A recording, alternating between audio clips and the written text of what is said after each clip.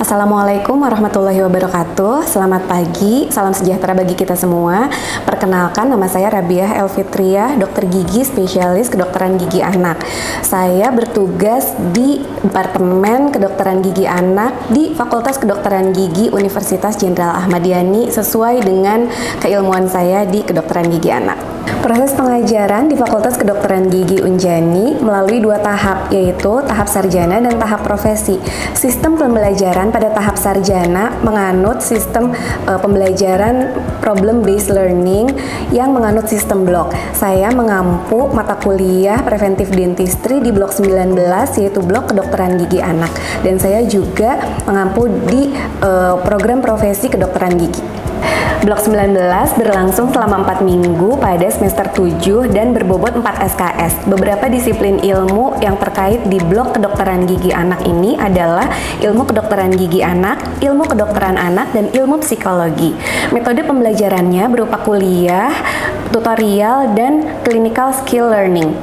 Capaian pembelajaran blok ini adalah menunjukkan sikap bertakwa kepada Tuhan Yang Maha Esa dan mampu menunjukkan sikap religius serta menerapkan sikap saling menghargai keanekaragaman budaya, pandangan, agama, dan kepercayaan serta pendapat yang diiringi sikap bertanggung jawab atas pekerjaan di bidang keahliannya secara mandiri dalam melakukan prosedur perawatan klinis kedokteran gigi anak yang sesuai dengan standar kompetensi dokter gigi, baik upaya promotif, preventif, kuratif, maupun rehabilitatif. Yang kedua, mampu menerapkan pemikiran logis, kritis, sistematis, dan inovatif dalam melakukan upaya promotif, preventif, kuratif, maupun rehabilitatif di bidang kedokteran gigi anak secara mandiri, bermutu, terukur melalui analisis informasi dan data secara lengkap. Yang ketiga, mampu melakukan anamnesis secara mandiri dengan menggali riwayat pasien secara lengkap melalui komunikasi efektif terhadap pasien simulasi dalam membantu menegakkan diagnosis, prognosis, resiko, serta menganalisis patogenesis perjalanan penyakit yang terjadi pada kasus kedokteran gigi anak untuk menentukan keputusan medis berdasarkan standar prosedur operasional secara mandiri. Evaluasi terhadap mahasiswa dilakukan pada tiga ranah, yaitu knowledge, psikomotor, dan attitude. Untuk knowledge akan ada tes tertulis atau MCQ, eh, yaitu multiple choice question, dan SOCA, yaitu student oral case analysis. Yang kedua, psikomotor dilakukan penilaian pada kegiatan clinical skill learning dan ujian OSCE atau Objective Structure Clinical Examination. Yang ketiga, attitude, observasi dengan kuesioner atau checklist selama proses tutorial, clinical skill learning, dan pembelajaran di luar kelas. Untuk pendidikan profesi kedokteran gigi anak memiliki bobot 3 SKS. Pada program pendidikan profesi, situasi pembelajaran menerapkan kemampuan kognitif dan psikomotorik secara terintegrasi pada pasien anak dan diawasi oleh dosen pembimbing klinik. Selama menjalani proses pendidikan profesi dalam Departemen Pendidikan Kedokteran Gigi Anak, mahasiswa memiliki kewajiban mengerjakan berbagai requirement baik pada fantom ataupun pada anak. Selain itu, mahasiswa tahap profesi juga diwajibkan untuk mempresentasikan journal reading dan case report. Evaluasi dalam pendidikan profesi adalah dengan mini CX, yaitu untuk menilai kemampuan anamnesis dan pemeriksaan klinis, juga asesmen pasien. Selain itu, juga dilakukan ujian DOPS untuk menilai psikomotor mahasiswa tahap profesi dalam melaksanakan perawatan pada pasien anak.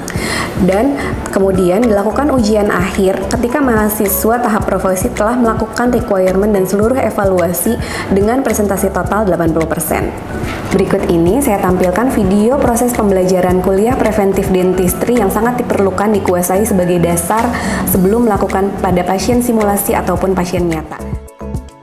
Assalamualaikum warahmatullahi wabarakatuh. Waalaikumsalam. Hari ini kita akan melaksanakan kuliah tentang preventif dentistry.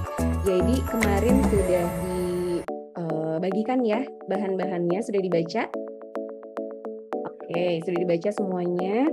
Uh, sekarang kita uh, mulai dulu dengan uh, sedikit pretest. Coba yang sudah membaca, kira-kira pre preventif dentistry itu apa sih?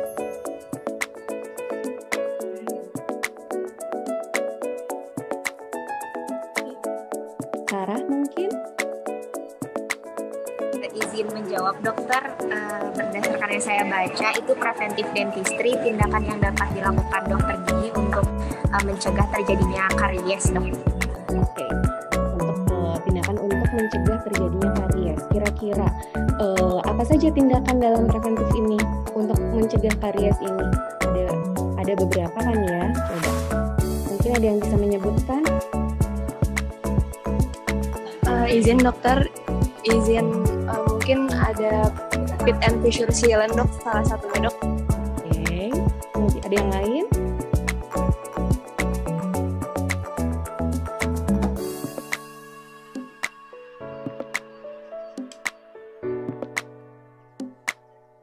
Selain fit fissure sealant? Dinda mungkin? Uh, Dinda mungkin untuk mungkin untuk lanjut upaya preventif itu dari pemberian di. Oke. Yang lain? Indah mungkin Indah mau menjawab Indah. Uh, izin menjawab dokter uh, untuk uh, tindakan preventif itu uh, bisa PRR.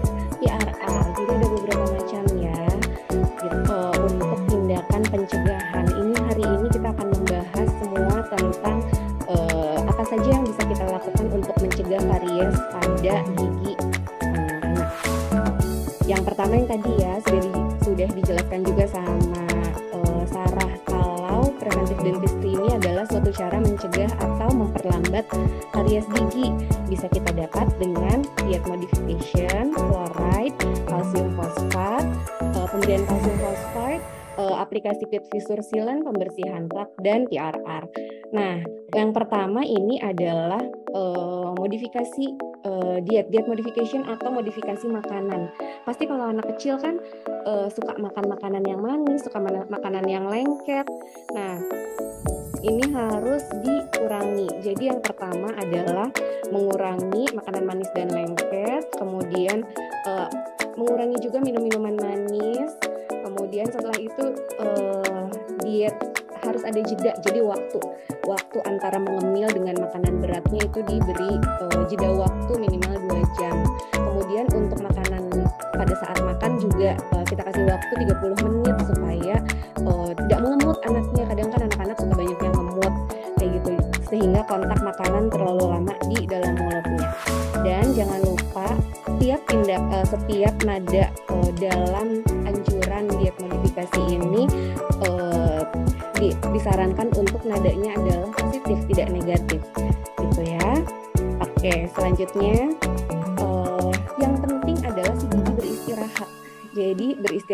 supaya tidak uh, asam mulutnya. Ketika dipakai mengunyah itu kan uh, rongga mulut akan menjadi uh, asam. Ketika uh, di, diistirahatkan maka uh, saliva itu akan uh, menetralisir pH uh, keasaman dari si mulutnya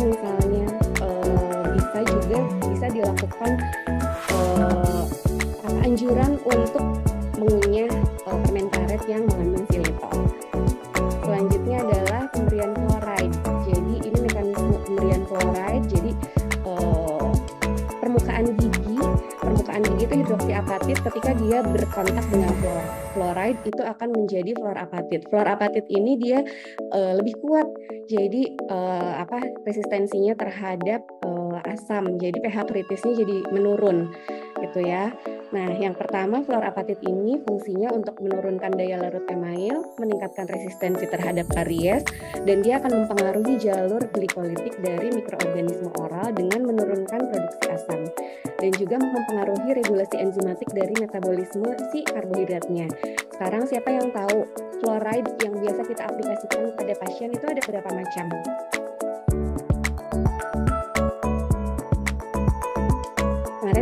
Ada CSL-nya ya yang diaplikasikan pakai tray sama yang pakai ini pakai uh, apa brush itu berarti ada apa aja?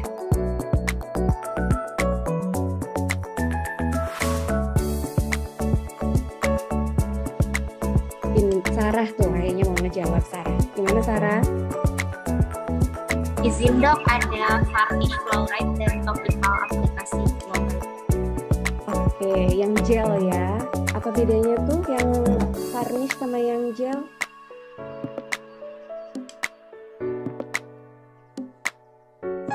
izin dok kalau varnish itu diaplikasikannya langsung menggunakan pickle brush atau aplikator yang sekali pakai. Kalau yang uh, topical fluoride itu eh yang gel itu dengan menggunakan tray dok ya dengan menggunakan tray jadi langsung ya dalam uh, rahang rahang atas ataupun rahang bawah uh, kalau misalnya varnish dia pakai brush langsung ke permukaan si giginya oke okay. ini untuk yang floor selanjutnya adalah uh, pengaplikasian kalsium fosfat untuk kalsium fosfat ini sendiri biasanya uh, dari kemasannya itu CPP ACP jadi kasein fosfat fosfopeptid amorphous kalsium fosfat creams jadi uh, kalau kalsium fosfat itu uh, dia lebih kemampuan remineralisasinya karena ada ketersediaan ion kalsium dan fosfat yang secara intrinsik terdapat pada saliva. Kalau tadi fluor dia berhubungannya sama hidroksiapatit yang ada di dalam email gigi kalau kalsium fosfat itu hanya uh, yang ada pada saliva jadi dia meningkatkan uh, kemampuan untuk remineralisasinya di uh, salivanya. Kemudian selanjutnya adalah tindakan yang bisa kita lakukan pada gigi yaitu pit dan fissure sealant. Jadi pit fissure sealant itu indikasinya untuk molar perta molar permanen pada anak dengan medium atau high risk of caries. Jadi kita nanti ada ada chartnya tabel uh, karies risk assessment nanti dilihat anaknya resiko kariesnya seperti apa resiko karies tinggi atau resiko kariesnya medium apakah yang rendah nanti kalau misalnya uh, medium atau high risk molar permanennya uh, dan dia ada pit fissure dalam berarti dia diindikasikan untuk diaplikasikan pit fissure sealant selanjutnya uh, pada gigi premolar pada anak dengan high risk of karies itu juga uh, indikasi untuk diaplikasikannya pit fissure sealant. Nah, sealantnya jangan lupa ya warnanya adalah yang opak. Jadi uh, kita menggunakan resin base sealant yang digunakan pada gigi molar atau premolar yang telah erupsi sempurna. Kalau misalnya uh, belum erupsi sempurna atau misalnya giginya hipomineralisasi atau misalnya sulit untuk di uh, di, di isolasi itu diaplikasikan GIC. Jadi dua macam ya si uh, material dari sealantnya. Ini tekniknya, nanti kita akan lakukan ini di CSL. Kemudian selanjutnya adalah PRR. Untuk PRR ini uh, bedanya adalah kalau misalnya fissure sealant tidak ada karies sama sekali. Kalau untuk PRR itu ada karies tapi hanya ada satu di uh, pitnya. Gitu. Misalnya ada satu pit, dia ada kariesnya berarti pakainya PRR. Kalau misalnya bedanya sealant, PRR sama restorasi apa tuh? Ada yang tahu nggak? Nabila mungkin mau bertanya? Mau menjawab? Mencoba menjawab? Izin untuk mungkin izin menjawab perbedaan itu dari uh, Peterson, PR dan juga cara itu untuk Peterson itu untuk sebagai upaya pencegahan dok jadi uh, diletakkan di gigi yang belum ada kariesnya sama sekali dok. Lalu untuk PR itu untuk kavitas yang kecil pada gigi kawasan tersebut dan restorasi itu jika sudah ada kerusakan yang besar atau kavitas yang sudah besar. Ya, jadi kalau untuk uh, pit fissure sealant hanya di pit fissure yang dalam saja tanpa ada karies. Kalau PRR itu ada karies di salah satu pitnya, jadi nanti direstorasi, dipreparasi dulu, kemudian baru uh, pit fissure yang lainnya ikut di sealant juga, jadi namanya PRR. Sedangkan restorasi berarti sudah uh, mencakup uh, pit dan fissure lainnya. Ya. Selanjutnya adalah pembersihan plak. Jadi uh, pakai sikat gigi, flossing, uh, disclosing. Jadi nanti di, uh, cek dulu nih plaknya, kemudian dengan antimikrobial. Sikat gigi udah tahu ya cara aplikasinya seperti apa. Kita ajarkan anaknya DHE uh, cara menyikat giginya. Jadi harus uh, selain membersihkan plak, sikat gigi juga alat untuk mengaplikasikan topical fluoride ya. Jadi setiap hari pakai pasta gigi yang berfluoride gitu. Jadi uh, tapi sikat gigi ini tidak mencegah karies karena tidak efektif untuk membersihkan plak di interproksimalnya. Kemudian Uh, jadi anak harus dibiasakan menyikat gigi yang baik, sikat gigi dua kali sehari, pagi setelah makan, kalau bisa 30 menit sampai satu jam setelah makan sarapan, dan uh, sesaat sebelum tidur. Jadi kalau misalnya habis tidur, eh habis sikat gigi, jangan uh, ngemil lagi. Biasanya kalau anak kecil tuh banyak habis sikat gigi ngemil lagi gitu kan. Jadi harus sesaat sebelum tidur gitu. Dan uh, harus dilakukan pertama dilakukan dari pertama kali giginya erupsi. Kalau misalnya belum bisa pakai sikat gigi, pakai kain kasa yang dililitkan pada jari seperti itu. Jadi orang tua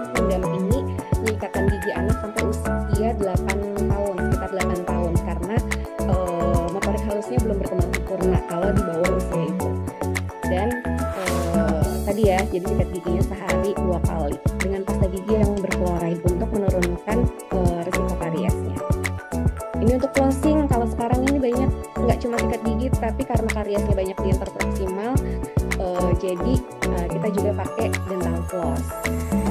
Ini untuk melihat adanya letak dental plaknya, kita aplikasikan dulu disclosing solution. Selanjutnya bisa menggunakan uh, antimikrobial yaitu obat kumur. Uh, sekian presentasinya. Mungkin ada yang mau bertanya dulu.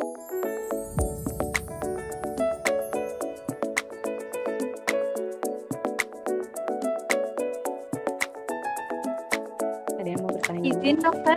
Oke, Ritmi. Baik dokter, izin untuk bertanya untuk tutmas itu ap uh, apakah harus dilakukan langsung oleh dokter gigi ataukah boleh dilakukan oleh orang tua dokter? Oke, untuk tutmas sendiri berarti dia yang kalsium fosfat ya. Jadi yang CPP ACP bisa dilakukan oleh orang tuanya juga.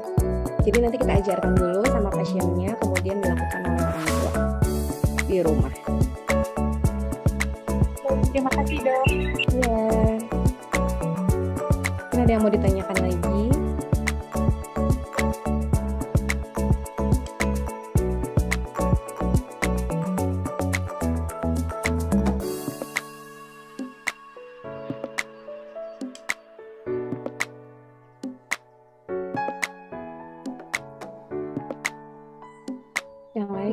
Mau bertanya?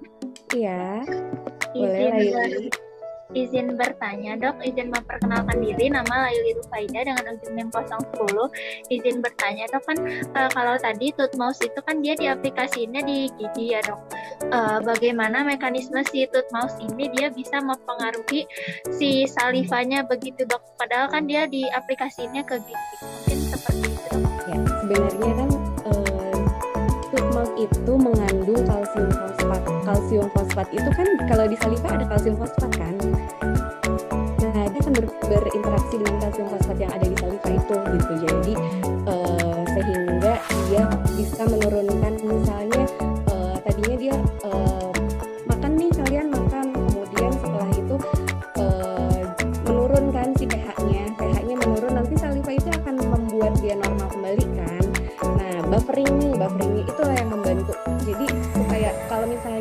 si pH-nya dia di buffering oleh saliva, pH mulutnya dia yang tadinya asam menjadi normal kembali oleh saliva, berarti ada waktu dong untuk si gigi beremineralisasi. Ketika pH-nya dia jadi eh, jadi tidak asam, gigi itu akan beremineralisasi kan, gitu. Jadi itulah eh, si kalsium fosfat itu membantu untuk eh, kemampuan buffering si salivanya seperti itu. Jadi nanti ada waktu untuk ketika bufferingnya cepat, remineralisasinya juga jadi cepat gitu.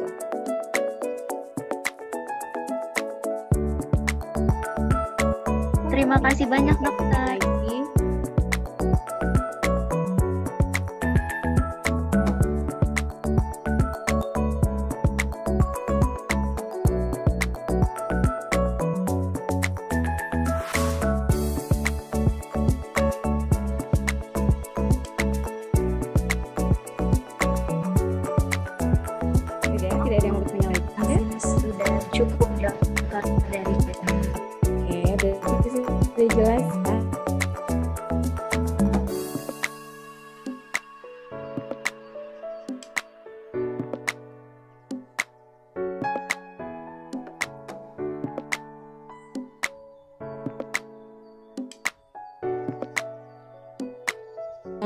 Seperti itu. Jadi nanti kalian bisa uh, lakukan uh, edukasi sama orang tuanya. Berarti nanti orang tuanya anaknya pengemut atau tidak, kemudian suka ngemil atau enggak, suka makan manis atau tidak gitu. Jadi uh, langsung dilakukan uh, apa arahan untuk modifikasi diet. Kemudian yang seperti tadi semua tindakan-tindakan pencegahan yang dapat dilakukan pada anak. Oke. Okay.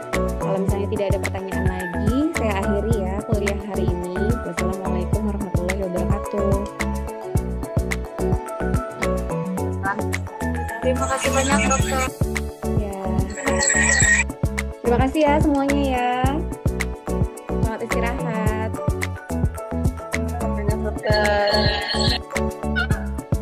Video selanjutnya adalah demonstrasi melakukan pit and fissure sealant pada clinical skill learning sebagai salah satu tindakan pencegahan karies atau preventif sehingga mahasiswa dapat mensimulasikannya dengan mempertimbangkan indikasi dan juga pemilihan bahannya.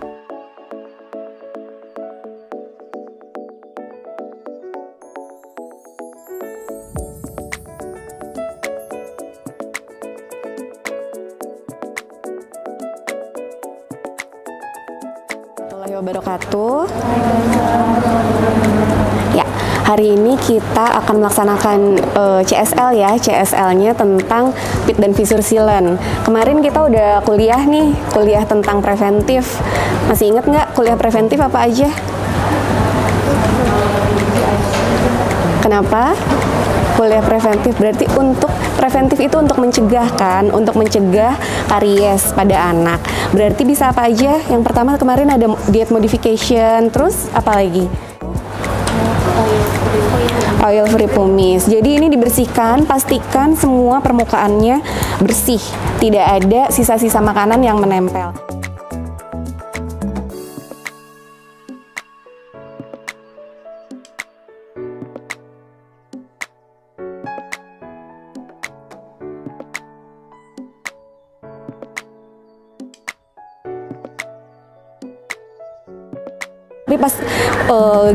Gigi permanennya erupsi udah kelihatan pit fisurnya dalam. Kalau misalnya kita tunggu dia sampai erupsinya full, kemungkinan sudah terjadi karies. Berarti kita lakukan tindakan pencegahan dulu. Bisa pakai TAF atau pakai GIC. Kalau misalnya pakai GIC, caranya sama.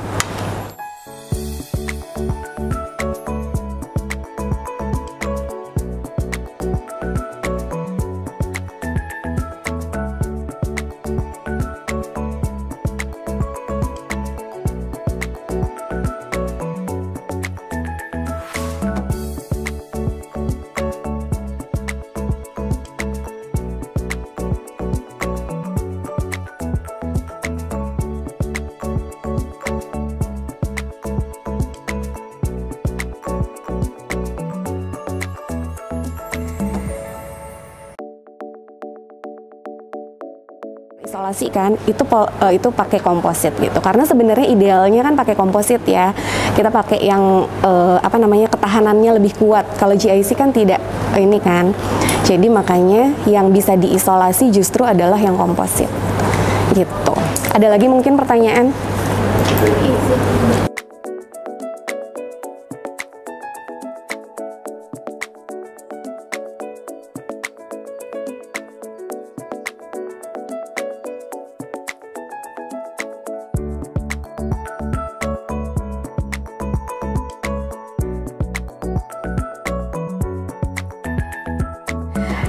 Demikian deskripsi singkat dari saya. Semoga dapat memberikan gambaran mengenai kegiatan dalam bidang pendidikan dan pengajaran saya sebagai dosen di Departemen Kedokteran Gigi Anak di Fakultas Kedokteran Gigi Universitas Jenderal Ahmad Yani. Atas perhatiannya saya ucapkan terima kasih.